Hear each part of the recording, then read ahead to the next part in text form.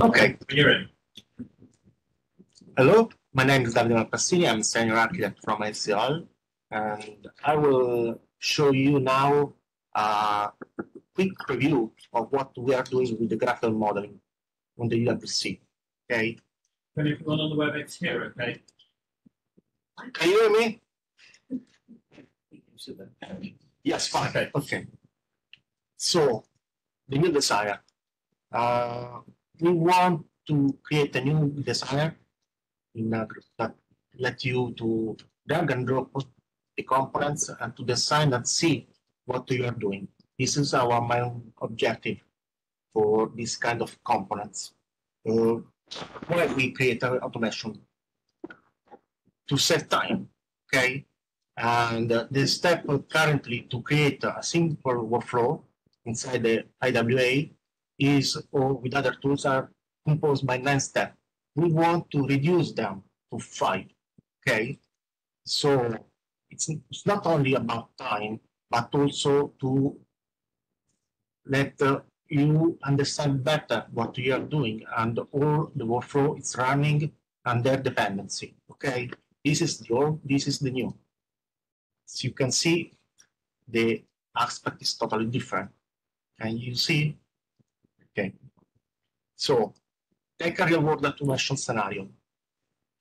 Alex, that is an application developer, wants to create a data processing workflow. Okay. So it will create a, workspace to automate the data collection and processing and approval. Okay. So it wants also to manage the final report if there is some failures and notify someone if there is any issue.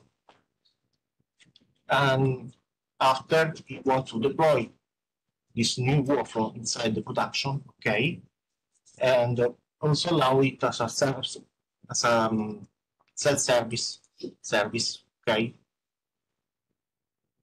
So he has to create data report workflow, an approval failure, and final report. Let's see the UI, okay. So this is only a mock-up of the new welcome page where is the designer, okay? And you can click on the designer and enter here. As you can see, there is uh, on the left the palette with all the components block that you could use, okay? A canvas that is an empty space at the beginning, and this is the concept of the workspace, okay? Currently, we are working for a multiple workspace to let them to also to be shared between different people, okay? and you can drag and drop set the name of the workspace and drag and drop a job. And this is an empty job. If you click on it, you can change the name. And in the asset, you have all the objects on the database that are already created and ready to be used. So you can okay, create an event tool, for example, okay, and the you can put the data that you are usually do, so the name, the folder, the description, with everything that's required. Okay. Select the events, the action, and so on, and save. This will be self-directed in the database. So what you are doing from the asset file are directly managed and under directed to the database. Okay. Instead, if you create a new job like the RESTful. Oh, this is a mockup, so you cannot see the drag. But if you get from REST use it, REST APIs and drag it on the, work, the workflow, okay, you will end with this new box inside the workflow. And so. You can change the name inside the, the panel that's on the right where you have the, all the properties. Okay. You can drag and drop another job. Okay, change the name click on asset, reuse some data definition that you already have, drag and drop that them. And after you can put the dependency graphically without searching and without compiling anything. So using all the drag and drop, you can compose the job tree with the new job definition or already created job definition from the database and link the, all the dependency that you need. If you want to use also a workstation, you can put the workstation directly drag and drop. So this job stream will use this workstation and the same can be done also for the job. Okay. Now I want to reuse another workflow, a uh, job stream that I already created. So I can select it from the asset and drag and drop inside the canvas. And I have it here. And now I want to do a second approval verification job and next the job condition for data submission. So I can create the join and link them, everything graphical. What do you think of this? Do you like? Is something that could be useful? No question. I mean, anything is a record. That's it. What now? Applied it to the previous. You should follow your dependency. Yeah. There you, you see also the condition dependency that are not the same line. Is What happens when you have two, three, four hundred jobs in a job stream instead of? okay. The technology allows us to don't have any performance penalty. Okay, uh, is not there, but there is a, a, a small view on the right. Okay, this is the gap. Okay, where you can drag and move. Okay, so if you have a lot of job streams with a lot of job, you have a um, navigation panel on the left, on the right, on the bottom. Okay, so you can move between them. Uh, we are also thinking uh, to add a, another tab after the asset with the tree view of the workspace. So you can select from that view and link directly to the canvas. Not everything will be in the first release, obviously. This is only the, the mockup. Okay, so also the the handle of all the workspace and share of the workspace between different people is not there on the first in the first release.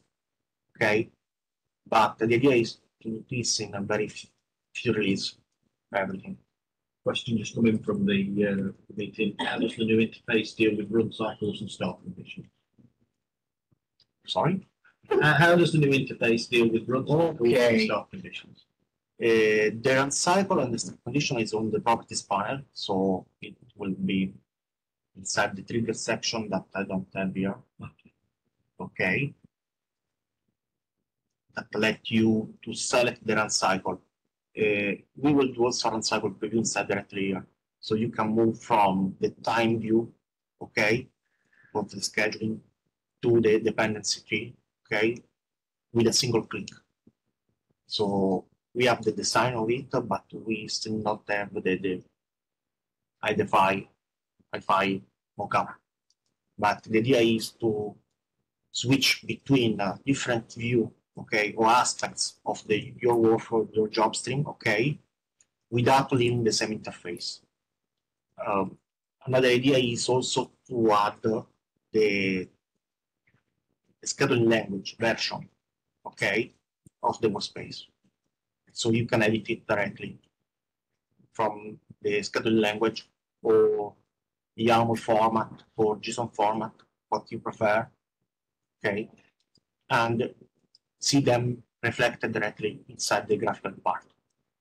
So they will be the complementary aspects of the same thing, and you can see it from the definition graphically, the actual format, okay, or to check how the job stream is executed during the time. Also respect on all the job stream that will be opened inside the same workspace. Another things that uh, it's not really clear is the deploy. All the changes that are done on you will do on uh, the job stream inside the canvas area are not persistent in the database until you click deploy. Okay, the deploy is the action that will let you to the put them in production. Okay. We are also um, thinking, not from the MVP, okay, not for the first release, to have an approval flow. To, so if you delegate someone else to create the workflow for you, but you want to be sure and that everything's right before deploying it, you can put a, a authorization flow, okay, in the middle and authorize and check that everything is like what you want, okay, before to put it in production. So we want to separate also the duty between people. So this is our idea. If you have any comments, mm, idea to improve, we are. What's the feedback? The approval bit's good, it's like almost just relating it to the Z issue, it's like putting it in pending. Uh, until someone approves it and. Yeah, it's It's okay. kind of interactive into the live database. Exactly. Before going to the database, it's an appending state uh, because it's a workspace, okay? It's not saved in the database, okay? And until uh, someone authorize, okay, the deploy, it doesn't exist, That would be the, the, the plan for the For the future future. completer. okay? Could that, au- could that authorization come from a booking to say, for example, ServiceNow? Yeah, Yeah. exactly, you think the same. Yeah. Yes, that, Yeah. that one, It yeah. could do that. Yeah, could do that. So. because Yeah, I- you're- if you're it's taking a system that- Or ServiceNow, Yeah, if that, once that gets approved, then it will automatically approve. Yeah. Deploy it, yeah. What would the a reject look like in that situation? So somebody, so I know this is not coming soon, Okay. say it gets filed for approval and you don't approve it, Yes, it will come back. it stays in draft uh, it stays, status. but it stays ready for you to make your amendments and you can send it off again. Yeah. But, um, That is for the future complete, that is not in this release, Yeah. okay? Yeah, yeah, it will take some time, but it's important to hear from you for our directions. Yeah. Exactly. To collect your feedback, to design the future, uh, also we take in mind what are the, your idea or your needs. So I think, so it's, in- we, it's a need we have quite a lot of, we kind of want to empower developers to do their own work, we need to be able to wrap some security in. Exactly. Around it. Uh, now let, The routes of life in general needs Yeah. to be addressed for us because we do the majority of our work straight to production. it's a problem for you. Yeah. Exactly, and you cannot do any changes until you put it in the database. So this kind of stuff will split and allow you to delegate the creation to someone else that uh, Cover- Like you to- Cover the deployment. exactly take the, the main step to put into production Yeah, okay. and do all the checks. What version of this? Essentially, do you have any- Okay, uh, the first version that will not future complete, so the, the product flow is not there for sure, okay? Because that's something that I already know, okay? Is in 10.2.3, okay? So probably the product flow will be in one on the next. I think that will be one of the priority stuff that we have to do. The approval flow. Yeah, absolutely. It's in our roadmap, certainly. So, so the first version will be 10.2.3? For the graphical modeling, Yes. yes, And it But, uh, work only for distributed, only for distributed. because we need to do the APIs for the Z for the Z, and uh, will not cover everything. Okay, if you see there is also in the mockup missing the versioning, the run cycle preview. For the run cycle preview, we have an internal mockup. Okay, but it's still an early stage, so I don't know. I'm not sure that would be completed by the the deadline of the release. Okay. So the first version is in October. is in October, okay? It will let you to create everything, okay? And deploy without a single concern. We have to do the, for sure missing the version, the second preview, the approval flow, okay? And something more. Okay, So you're going to be busy.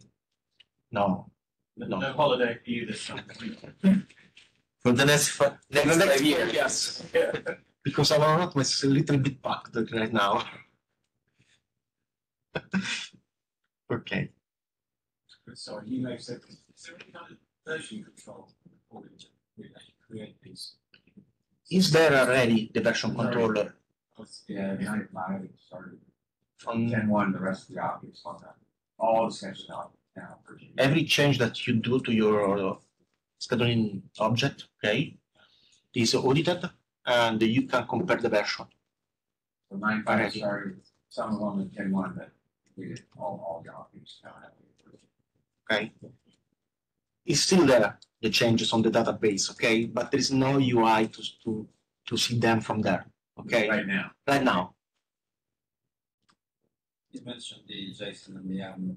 for Yeah. presentation. Looking for definitions. okay, that is the second, the, the last, the, the next step of the representation. Ten one, you have all versions, you can see it.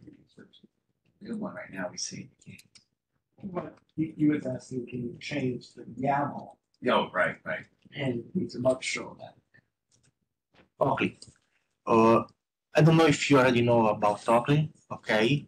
Uh, currently on uh, the 10.2, it's used only for the plan part, so it's a replacement for Conman.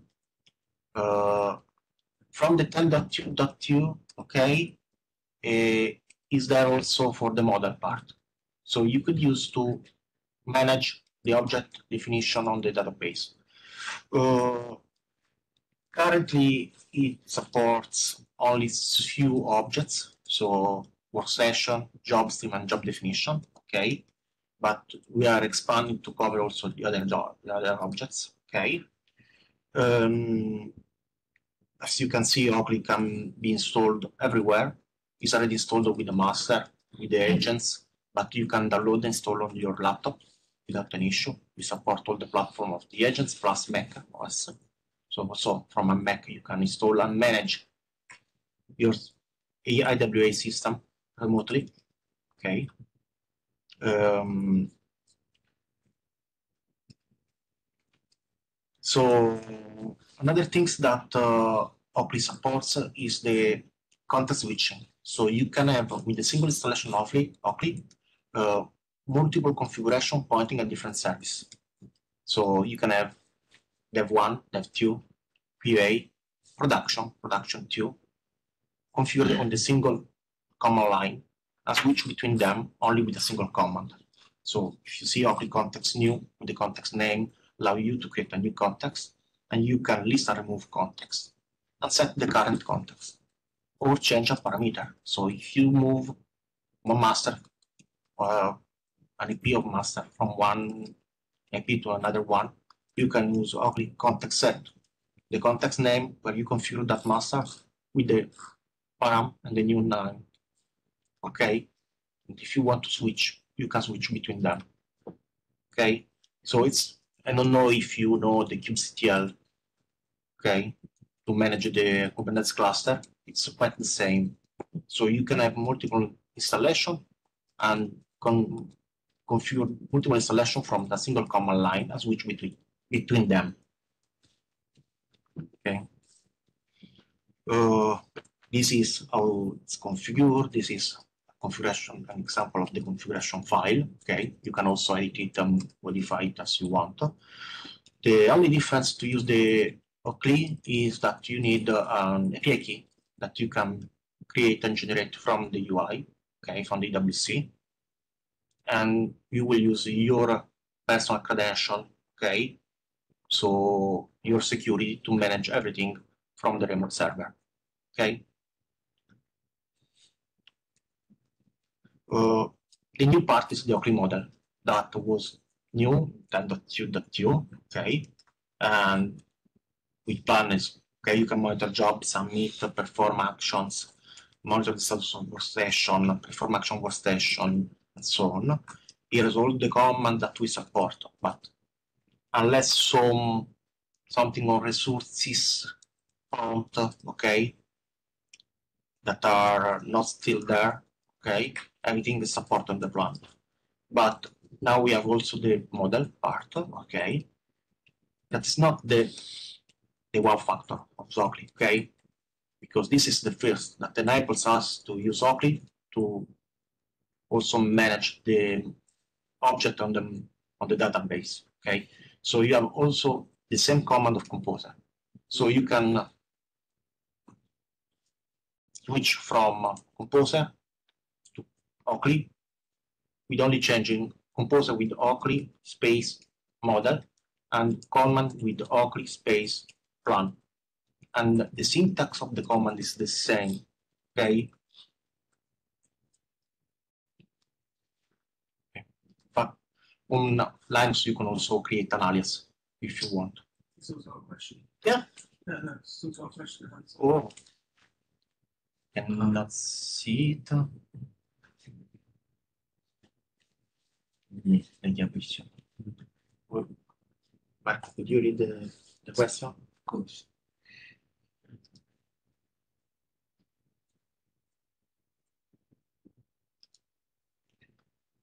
Okay. Uh, how does the new interface deal with run cycles? I've already done that. I No? think somebody just put their hand up. Yeah, they're question. very- Hi, hi, uh, this is Chaitanya here. Um, can you hear me?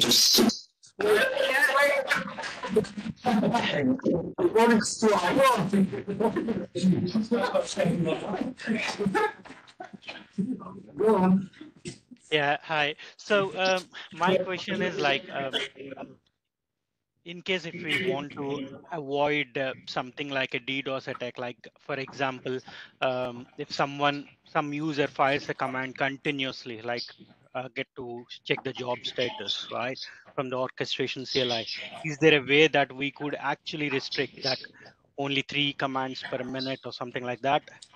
Instead, I mean, the, the main reason I'm asking this question is there are scenarios wherein the master goes down if the number of requests are high. Okay. Mm, currently, there, there isn't. Okay, it's a good idea. Okay, also to allow some request limit by user. Okay, is something that is achievable, but currently is not there. Okay. In any case, uh, you can point directly to the backup. Yeah, Okay. actually, even if we point it to the backup, right? I mean, uh, the the number of connections should be restricted, isn't it, to the master or the backup master, or else we will be in trouble at some point of time if the number of requests are high. it, it goes only to the database, so it's not so high the throughput and the usage is okay. But uh, the you are right, uh, we could have a limit for user of uh, request rate to slow down frequently request. Okay, I will point it and uh, ask it for an RFE. You can also fill an RFE for that. But this is a good idea. Yeah. Thank you. All right, thanks.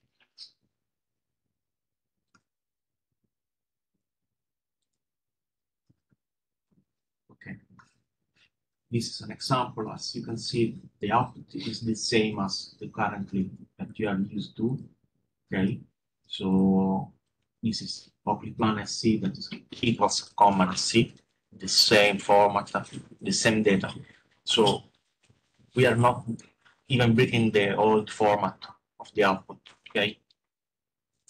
Uh, so on 10.2.3, you can create list, modify, unlock list for job, jobs, workstation, and folder. Sorry, I forgot the folders last time. Okay. And uh, do everything that you're used to. Okay. What's new? Okay. We allow from a single file, okay, to resolve the dependency inside the file. Okay. So you can uh, put also in output sequence your job that reference a job stream that is defined after the first one. Okay. And we will resolve everything and save it in a consistently way on the database. What's more, we allow to have in a single file multiple objects. objects. That's something that with Composer is not possible, for example. So in a single file, you could have your variable table, your folder, your job your job definition, uh, your calendar, your run cycle group, everything that you want, okay, in a single file and deploy it in, in- with a single command. So you can do a replace of this file and you will uh, update everything that is on the tab file. So with a single source of truth, you can update everything.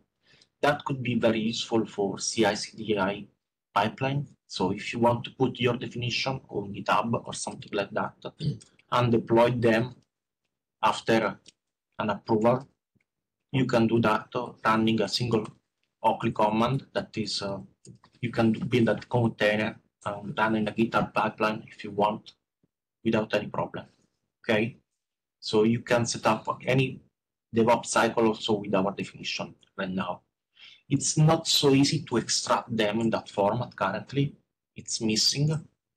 We need also some command to extract, for example, all the definition, all the objects that are under a folder. That is our idea.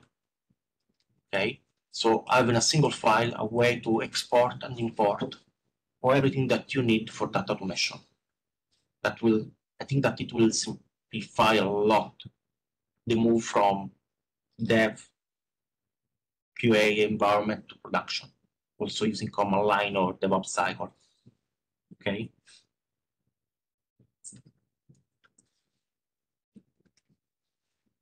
This is an example how we can manage and you can do with OCLI. So you can also do SQL reference and we will set them without an issue in a single command.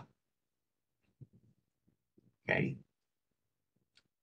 Uh, another things that uh, we add in 10.2 10.2 is the format. You can select the format of the definition that you want in output and in input. You can use them as you want. In input, you don't have to specify anything because we can find the correct format directly. Okay. In output, there is a default that is scheduling. Okay. You can override it from OCLI inside the configuration file if you want to change for your box all the output format or in a single command with the option. So you can have JSON, YAML format also. That will let you to improve readability. Also on GitHub, you can, it's easier to have diff for the JSON, the YAML format instead of the scheduling. Okay. Um, this is, as you know, a possession, okay, in scheduling. This is in, yeah, in JSON. It's quite more readable, but my preferred way the YAML. That is much more readable. Okay. So why this format? Because with this new format, you can do something that before it's very complex.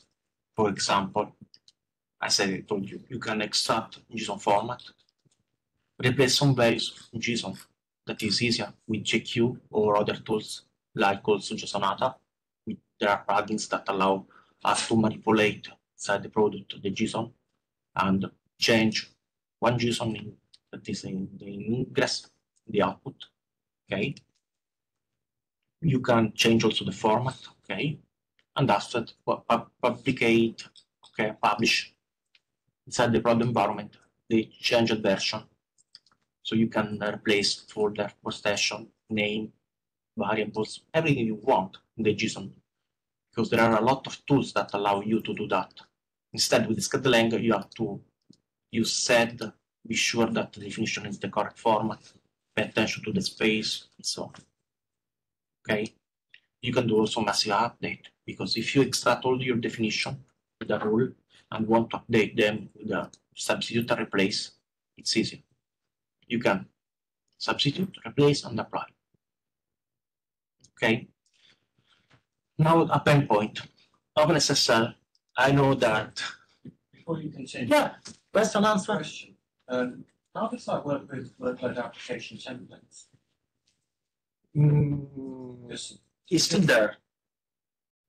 It's still there. The, the web application. But But instead of doing it on a job by job basis, because workload application templates work on job streams and then all associated scheduling objects, could you use that with this to then, We have to, As part of to rethink at least how the bot are currently implemented, okay?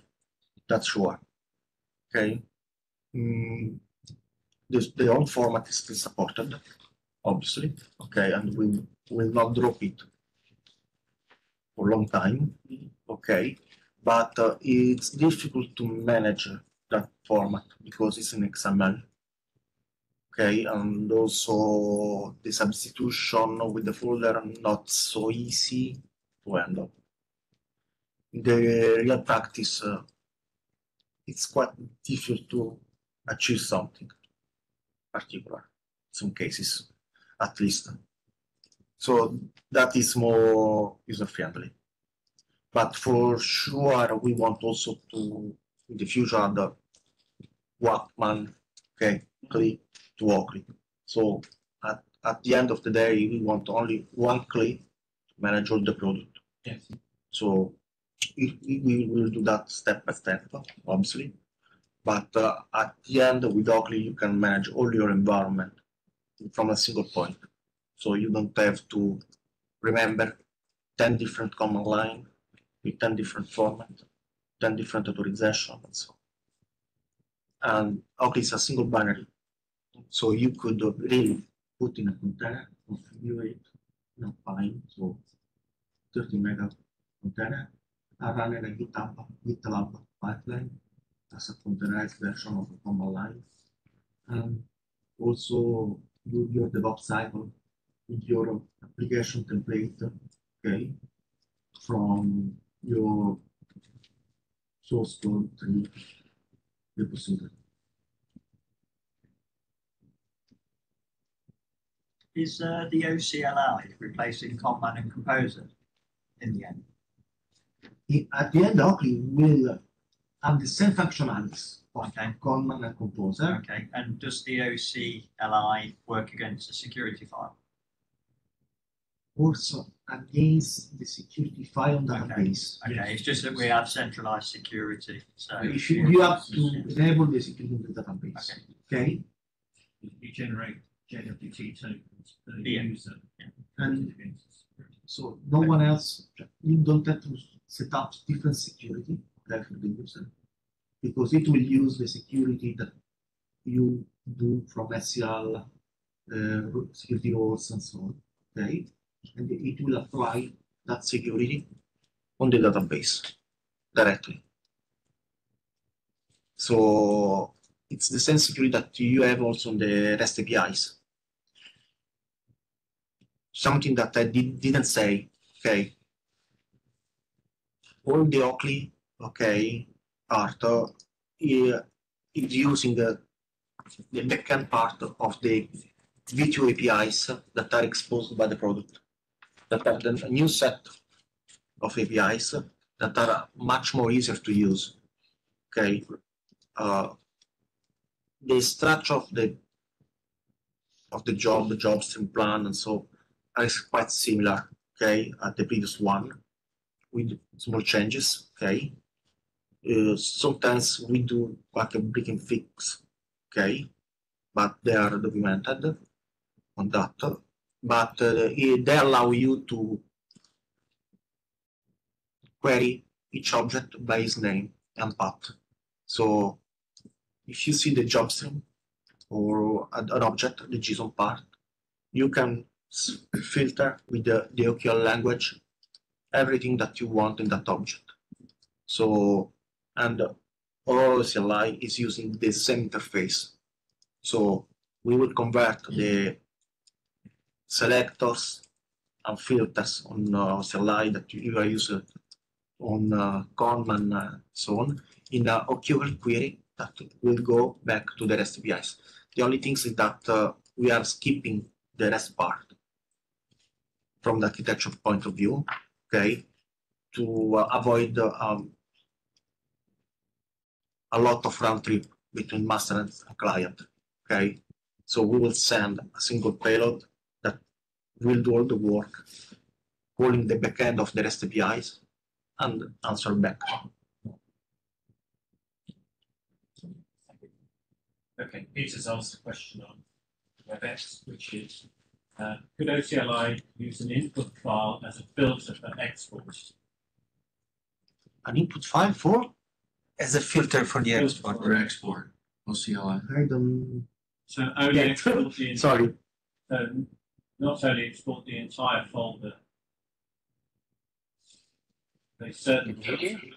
Yeah. Yes. pose a question like, like this. Um, so we have we don't use folders. We Okay. use so application prefixes, Okay. but we don't want every time to export the entire prefix because the prefix can contain like a thousand streams.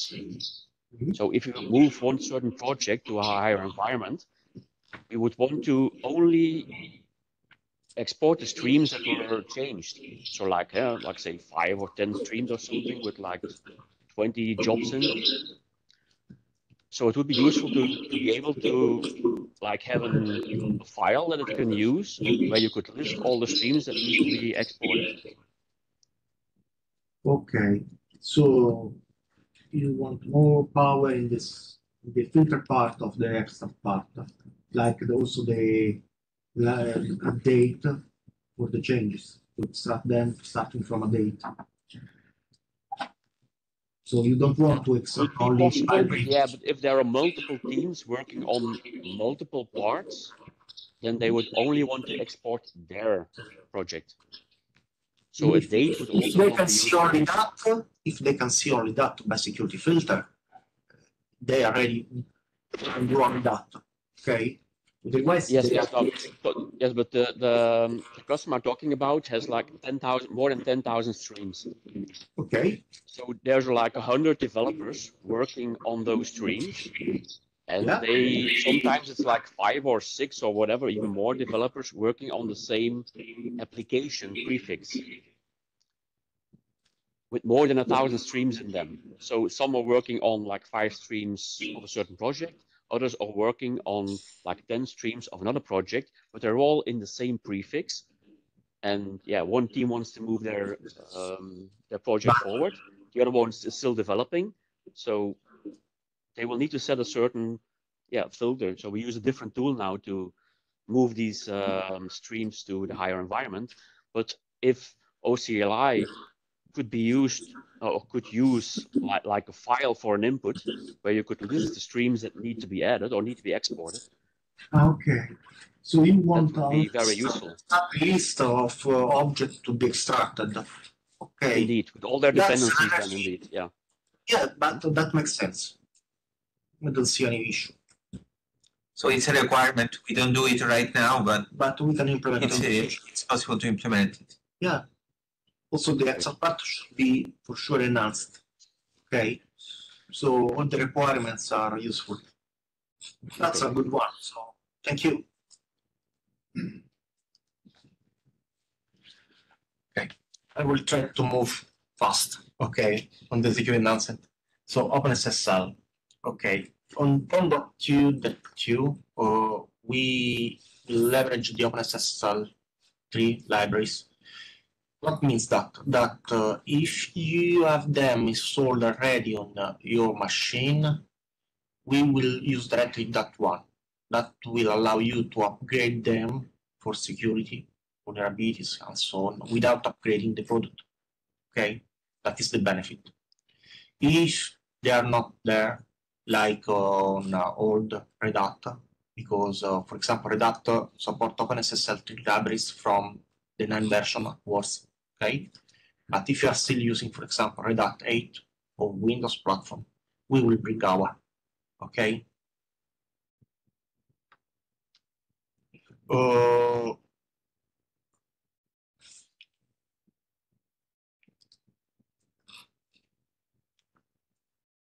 so what changed with OpenSSL? The main things that uh, we unified all data store and key store that is used on the master in two. Okay, so we have the trust key store and the private key store that is used for Liberty, FTA, and dynamic agent in the same place. Okay, FTA and dynamic agent in the same place, Liberty another one, but they are the same file. okay, uh, we dropped the old default certificate that was in common for all the installation, and that's not good because it's quite having the eating clear text, okay? So currently the installation, if you don't provide your certificate, will create automatically, okay, a set of certificate for your installation. What that means that the if you install a master on a fresh install, it's not a problem. You will end with a working master in a five minutes. Okay. If you are trying to do an upgrade and you are not doing a diet, it's a problem because you have to provide the certificate of the old environment. Otherwise, the new environment and the old environment will not talk. Okay. This is the bad. Okay. Another things is that uh, you have to move the folder that's generated, documented, okay, from the master to the DWC installation, the agent installation, or the backup installation, because you have to use the same set of certificates. You have uh, one question for everyone. How many of you are using uh, your company certificates for the master and the DWC? For all the components, so for all the components, you install your certificate, so the procedure for you doesn't change. Because uh, you are providing the certificate for each component that are signed by your company CA. Perfect. The other one, or the default.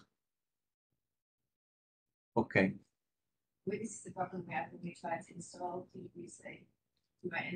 a loop. List. in the certificates, so there is something Yeah. wrong, okay? But the, usually you need to provide your custom, your certificate, also because uh, in all companies, the the CA of the company is already installed on all the boxes. So it's like having a, a real certificate for your device. Okay, but if you don't have, don't mind, okay, now the certificate are for installation, so they are real secure. They are generated, okay, 4K lane length. The, the previous one was 1K and could not be used for TLS 1.3. That was another reason to drop them, okay? Because uh, currently the list, the minimum version of TLS that is considered secure is 1.2, but probably in a matter of one year, probably it could be declared insecure. So everybody should move to 1.3 in a matter of some years, okay? And with your certificate, it's not possible because the TLS 1.3 doesn't allow key below 2K, 2K, okay? So if you want to move to TLS 1.3, we have to change all the keys on all the installation. That's a must. And that's a security problem, so it's not depending by us. During the installation, you can select the password of the key store. It's not more default, okay? So there is a parameter that and it's mandatory during the installation. That is the SSL password that you have to provide. And this is the password that is used to seal all the key store, okay? And you have to remember it because during the upgrade, if we need to add certificates or anything during the upgrade, we need that password, okay? The new certificate that we generate will expire in 1990 years, if I remember correctly, something like that. Okay. Uh, the DWC and the agent can only be stored using an SSL folder, so you have to provide the certificates, okay? That's not really true. For the agent, there are two other ways to, to install without certificates. Uh, you can use the user password parameters, and configure the depot on the master that usually is already configured to download directly from the master the certificate for the agent. Okay. Um, WA user WA password is a username and password that could be any username and password. The only things that the user should have is the rights to download the certificate. So in the security file, should have the file permission on a specific file. Okay. Or using the NAPI key linked to a user with the same privileges. Okay. In that way, the agent will install the certificates and start. Once more, if you are leveraging the depot folder inside the master to provide the certificate to the agents, okay, the agents can download them before the expiration automatically. So the agent will, if the master sees that the certificates of the agent are expiring, it will force the agent to download the, new certificate from the depot folder. This is done by 15 days before the expiration. So you can upgrade all the certificate in the network, okay, leveraging the depot folder. This is only for the dynamic agent, obviously. The FTA usually are installed in clear text, unless the master and the backup from the 10 release on a fresh installation, they are stored in SSL. Someone else use uh, FTAs in SSL. These are our procedure to install them. A You could use the same, okay? Okay. IWA use a mutual authentication TLS, okay, to authenticate the agent to the master, okay? So all the, for dynamic agent, okay? And all the names should be specified in a, a file. So usually you will generate only a certificate that is valid for as a client certificate for all the agents. So you don't need to have a specific certificate for each agent. That's something that we want to change, okay? But currently the situation is that. If you want, you can do that. You can also do regular expression in that file, if I remember correctly. So you can start, but you have to provide a, a naming convention for the name of the agent. Okay. Otherwise, you could also leverage another selection mechanism, okay, that will uh, not use anymore the TLS mutual authentication, okay, but use a, a JWT token that is uh, issued during the installation of the agent. In that way, you can also put a balancer between the master, if you want, and the agent with a gateway, okay, and do TLS termination on the border. But that's our more specific um, installation. Uh, it depends more on your network and how you want to authenticate and what you want to do and how you want to manage the TLS. For example, Kubernetes environment, we allow only dynamic agents, okay, with gateway, because uh, you cannot start the communication from the Kubernetes cluster to the agent, usually, okay? And uh, we, until the 10.2.1, we need that the, the ingress controller could do an SSL pass-through, because uh, otherwise the agent could not communicate correctly with the master, okay? We drop this limitation using the JWT token, okay? So you can do the TLS termination on the ingress and continue in TLS or in clear text. I hope not.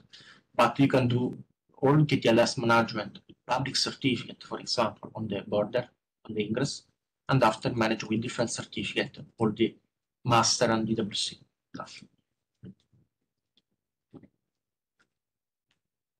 Okay. And that's all. We are out of time. Question? No. Are